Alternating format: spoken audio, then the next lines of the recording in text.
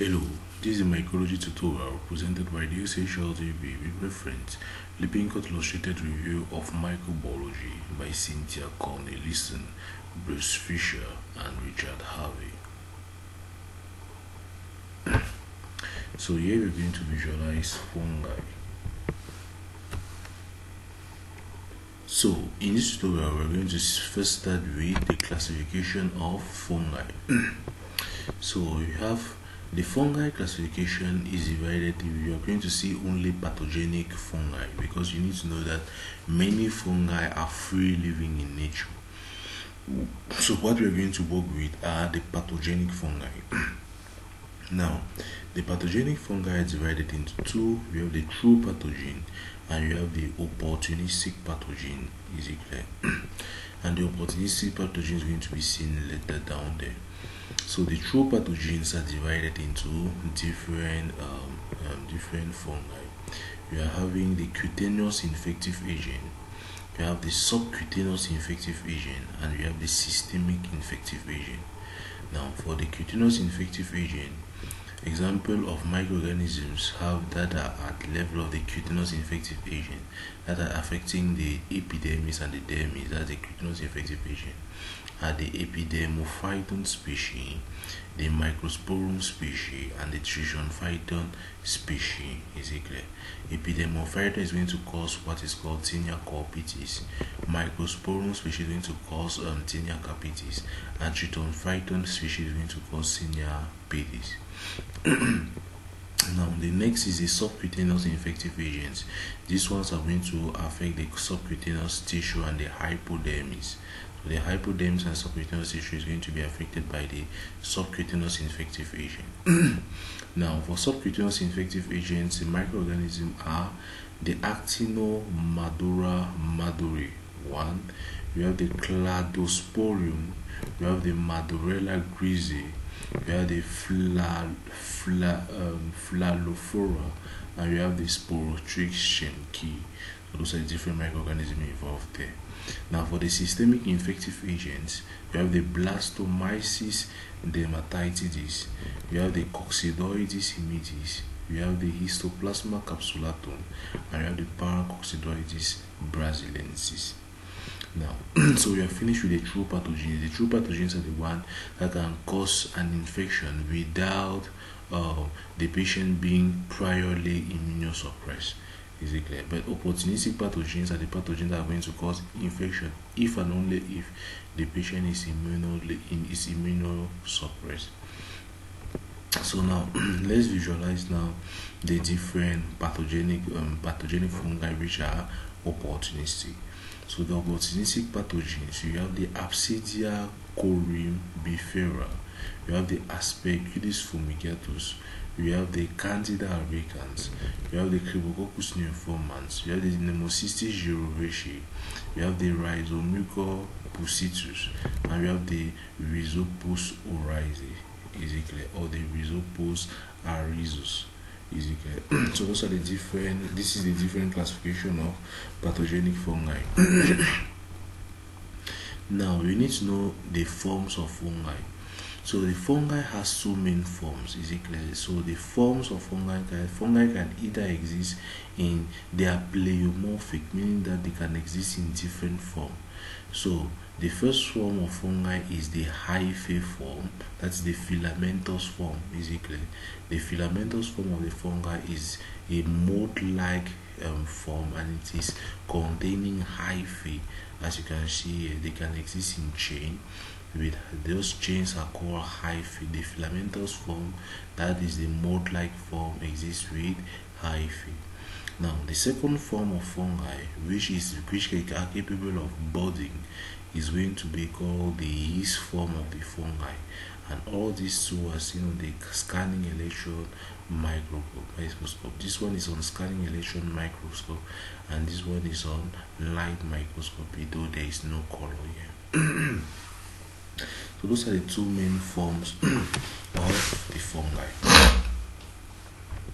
And you can see each of these forms can exist in the um, in the host soil. But usually what you have to note is that fungi live in nature more in the hyphae form and they are going to live more in the host in the the yeast form. But they can exist in either way around is it clear so those are the different things you must visualize here. Now what is the reproduction um, cycle of fungi? The, the fungi can reproduce in two main ways. It can reproduce via asexual reproduction and it can reproduce via sexual reproduction. For asexual reproduction it's going to divide by mitosis and it's going to produce spores is it clear. So you are going to have one so this these are the different hyphae of the fungi. So let's say one hyphae of the fungi is going to produce a bud.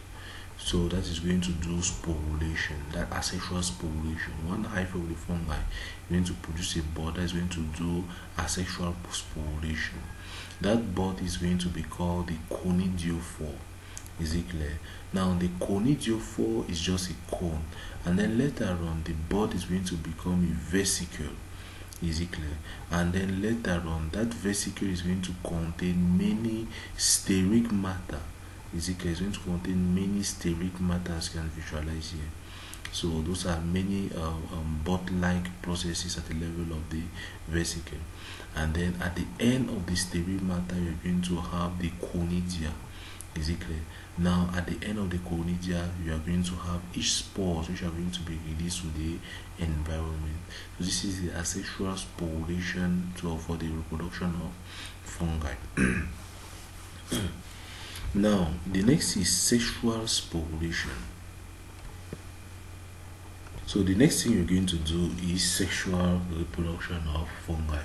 So that form of sexual reproduction is called sexual sporulation so in sexual sporulation what happens is that you first have a hyphae clear you have a hyphae so you see that at one part you are going to have a spore it so you have a hyphae so you can have you have um, at the level of the hyphae you have two main types of spores that are present. You are going to have the spore positive and you have the spore negative uh, part of the hyphae so or the so you have the hyphae which different buds one bud is going to produce a spore positive and another bud is going to produce a spore negative clear now what happens is that the spore negative is going to bud out and is going to come at the level of the spore positive is it clear so the spore negative is going to bud out and come and fuse with the spore positive so when it fuse with the spore positive we are going to have this now an ascus is it clear? So the spore positive is there the spore negative is here. The spore negative which is the male um like the like the male gamete is going to move out to the female gamete which is positive. Is it clear? And you're going to have this. So this is going to be called the ascus now you have two main nuclei. You have the nuclei here is a nuclei of the female. That's the spore positive the the, the, the positive spore. While the nuclei here is the nuclei for the negative spore? Now then there's going to be nuclear fusion. After nuclear fusion there is going to be meiosis which is going to now produce the ascospore. Is it clear? So actually you need to know that the mode of reproduction sexual reproduction of fungi is actually different from that of man.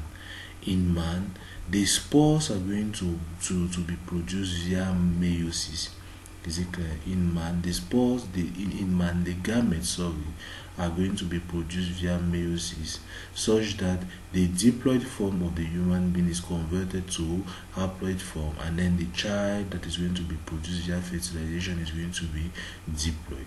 But in this case the spores have the same number of chromosomes like the fungi is it clear? So they exist in the diploid state as in the fungi so if say the fungi is 2n if these two the, this, these two the fungi is 2n the two spores are going to be 2n now when they bind together to produce the they are going to become a 4n um, 4n gametes is it clear so when they have 4n now division by meiosis by meiosis is going to now divide now that 4n back to a diploid state of the normal um, fungi such that the fungi is going to the fungi is going to have two n on each of these spores so each of these spores now is going to become what is called an ascospore is it clear. And now what is the the, the beneficial aspect of ascospore is that one ascospore are more heat stable as compared to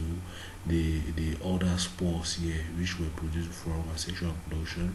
That's the first difference. And the second difference is that the ascospores are the ascospore contain more genetic material which is capable of resisting the environment as, as compared to the simple spores. Is it clear? So that those are the different things involved here. So now this is an example of colony of Candida albicans that has been grown that has been grown on the Sabouraud um, dextrose agar. So now let's see the different diseases that are that are being caused by um, the, the, the different diseases that are being caused by by the fungi. Now these are the cutaneous diseases. You start with tinea pedis. So tinea pedis is just is also called locally athlete's foot. Is it clear? So it is you see inside and in between the it occurs in between the toes where you have scratches where you where you scratch at the level of the toes and you have plaques at the level of the toes which are which exudate some darkish liquid. Now we have tinea corporis which occur all through the body. Is it clear? We have tinea capitis which occur at the level of the head. We have tinea cruris which occur at the level of the groin and that's the inguinal region.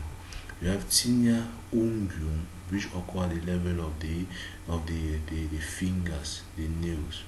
So now those were the different cutaneous mycosis.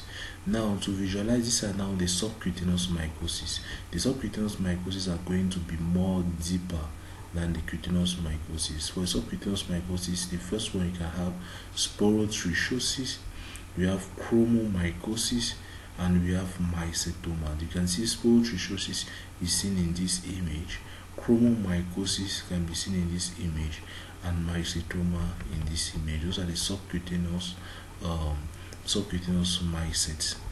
Now, this is a tissue section showing the budding of Sporotrichia So you take, you can do a biopsy and then to visualize this tissue here. So when you're going to do a biopsy to visualize the tissue, you're going to visualize that there can be Sporotrichia that is budding his at the level of the biopsy. Now, this is a, the, a diagram to show systemic mycosis. So we have seen the cutaneous mycosis, we have seen subcutaneous mycosis. Now we want to see, see the systemic mycosis. So this is going to show the life cycle of systemic mycosis. It starts by spore production. The spore production at this so from the fungi are found. The fungi can be found at the level of the sauris, the feces of bird, the bats, and the fungi can produce spores that become airborne. Is it clear? So the spore can be produced either from asexual sporulation or sexual sporulation and are present at the level of the soil or feces of the birds and bats. So now the second is that we have the primary pulmonary infection. So that is when the, the, the patient is first infected, is infected for the first time. When the patient is infected for the first time, we have what is called a primary pulmonary infection. So when inhaled, the spore are going to cause a primary pulmonary infection. Is it clear? So the primary pulmonary infection can be one, it can be coccidioidomycosis and it can be blastomycosis. Is it clear? So when it is inhaled, so you have lung of the patient with acute um, um, um, pneumonia. Is it clear? So he's from blastomyces um, dermatitis. So it is inhaled and enters in the lungs. After the lungs now, the it is going to be disseminated to the different part of the body Is it clear? And the fungi may travel to the to, to from the lungs now to other side of the body to cause infections wherever it wants. Is it clear? So when it causes infection, so this one is now a secondary infection. Primary infection is going to be infection at the level of the lungs. Now secondary infection is going to be infection all through the, the, the different part of the body. Is it clear? So when you have that infection can disseminate to the different part of the body or it can just stay at the level of the lungs. So the different diseases where uh, it can see that, that can be systemic. The first one we have coccidioidomycosis and coccidioidomycosis is going to the primary infection to the lung is going to be acute coccidioidal pneumonia and the possible site of infections when it disseminates it can be central nervous system and the bones is it clear? Now, in this case, this is a yeast from the Blastomyces um, dermatitis. Is it clear? So, causing blastomycosis. So, this is an example of a diagram. So, in this section, you're going to see know that what blastomycosis is going to cause possible site of infection at the level of the skin, the bone, and the genitourinary tracts for systemic disease. The skin, the bone, and the genitourinary tracts. This coccidioidomycosis is going to cause disease at the level of the central nervous system and the bones. Now, the next is this diagram is going to show um, a stain which is methenamine silver stain to see histoplasmosis. Is it clear? Histoplasmosis here um, can be seen with the methenamine, the methenamine silver stain. This one is this one. These two are just biopsies is it clear where you can see spherules here. Now the possible site of infections with histoplasmosis is mostly the reticuloendothelial tissue is it clear so that's when you have histoplasmosis. So you have the liver you have the spleen the lymph nodes and the bone marrow can be involved in histoplasmosis the reticuloendothelial tissue. Now the next is the paracocci um, paracoccidioidomycosis just like coccidioidomycosis. Here, um, it is the central fungal cells with a series of buds that look like spore of a wheel. So you can see, you can see it looks like spokes of a wheel.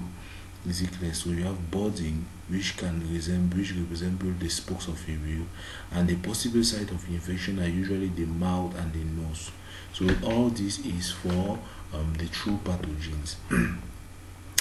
Now, we have the geographic um, prevalence of coccidioidomycosis in the United States is more at this area, so at the at the the, the west of the, the of um, USA. Now, this is the endemic area for histoplasmosis. Histoplasmosis is more at the east of USA, while um, the the um, the coccidioidomycosis more at the west of USA. Now you see this is a radiograph, a chest radiograph showing um, the infiltrations of the, the lungs, the, the pneumonia caused by these forms of this um, this um, systemic um, systemic mycet, mycet infection. So you can see reticulonodular infiltrate. So you have you have to know that what there are types there are different forms of infiltrates so when you have to, to know that interstitial lung disease the peculiarity of interstitial lung disease is that there are reticular um, um, um, um, um opacities is it clear? So there are going to be reticular opacities and reticular opacities are diffuse opacities as you can see here so those are reticular opacities. Now we can also have nodular infiltrate as you can see there are nodules. You see reticular opacities and you can also see nodules. Those are characteristic of interstitial lung disease. Is it clear? So the bronchoalveolar lavage can be used in order to recover the blastomycetes dermatitis is dermatitis? So, so in order to visualize it on microscopy with potassium hydroxide staining is it clear? So this is just to show that there is an interstitial lung disease and this is interstitial lung disease of a known etiology inter of the interstitial lung disease of unknown etiology sorry is it clear? Now the next You can also have a urinary tract infection. So the common imported reported pathogen for urinary tract infection in acute medical intensive care unit is Candida albicans, and usually um, um, Candida albicans is usually associated now with um, hospital-acquired urinary tract infection in patients who are immunocompromised. Is clear? So these are the commonly reported pathogens from urinary tract infection, urinary tract infection in patients with acute medical intensive care. So you can see the rate. The first microorganism which is associated with urinary tract infection is Candida albicans in hospital acquired settings. Is it clear? So Candida albicans is the first among the hospital acquired urinary tract infection. After Candida albicans, you have the Enterococci. Enterococci is the second hospital acquired urinary tract infection um, pathogen. The next you have now Pseudomonas aeruginosa. After that you have Klebsiella pneumoniae. After that you have Staphylococcus aureus, and after you have um, coagulase negative um, Staphylococci. So these are the major microorganisms involved in hospital acquired urinary tract infection. Now, this is how Candida albicans resemble. So, this is just a hyphae form of Candida albicans. So, it's an example of an opportunistic mycosis. So, Candida albicans, you see that they, it is made up of oral candidiasis, which is also called oral thrush. So, this is oral candidiasis called oral thrush.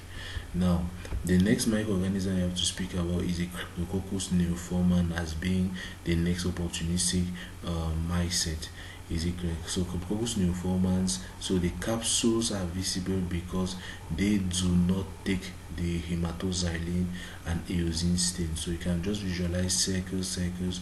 Normally with hematoxylin and eosin stain, um, everything appear either bluish or pinkish. Is it clear? To show that you are respectively basophilic or eosinophilic. But now in this case, the Cryptococcus neoformans do not um, are not visible, are not um, are, are attaching with the hematoxylin and stain. That's why they're going to appear whitish when you use hematoxylin and eosin stain. But the peculiarity is that Cryptococcus neoformans can be seen with the Indian ink stain. now, this is the next one, the Aspergillus species. So Aspergillus species can be visualized in this diagram here and the disease is going to cause aspergillosis. So aspergillosis on the chest x-ray can be visualized here. You have fungus balls. You can see balls of fungi like in nodular opacities. You're going to see nodular opacities and not reticular opacities. Is it clear? You're going to see nodular opacities is so uh, infiltrations. So that is it to, to show you that. So when you see nodular opacities you may think of two main things. It may either be a lymph node or it may be an a, a, a, a, blood vessel or it may be an actual opacity is it clear so when you see nodularity inside the lungs those are the three main things you have to think of. You have to think of a lymph node you have to think of a blood vessel and you have to think of an infiltrate is it clear? So these are the three main things in nodular opacity. So you can see nodular opacities here to reach a characteristic, reach a characteristic football um, fungus balls? Now the next is rhizopus oryzae so this is a hyphae form of the rhizopus oryzae the next is silver stain um, is the one that is going to help you see Pneumocystis jirovecii. So for you to visualize Pneumocystis jirovecii, you can use the stain called silver stain and this is the peculiar appearance of Pneumocystis jirovecii on silver stain. So Pneumocystis jirovecii pneumonia is mostly present at the level of patient having AIDS, that is an opportunistic infection is it clear so you are going to see you see here that there is a reticular you have reticular opacity. So reticular opacity will tell you that there is an interstitial infield there is an interstitial lung disease. So you can have just reticular opacity that you can visualize here. So you see reticular opacities here. So this is just um, so we have just seen every most of the things involved with um, um, um, um mycology. So from here we say thanks and for your kind attention. Please don't forget to like and subscribe for our channel science video maker. Thank you